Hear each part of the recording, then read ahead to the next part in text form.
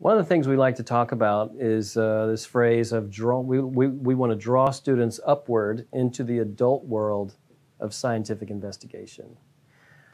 Uh, we're not going to take the science that exists out there and package it for the children, like bringing it down. We're going to say, hey, students, there's, there's a whole community of scientists who are out there doing the work, and, and it's, it's an adventure. And uh, so come on along. We're going to we're gonna take you with us. We'll, we'll bring you into that world. Um, but there's a lot to learn. You know, you got to learn the language. You got to learn safety. You got to learn um, how to how to do experiments and things like that. But it's a wonderful journey. So come on along.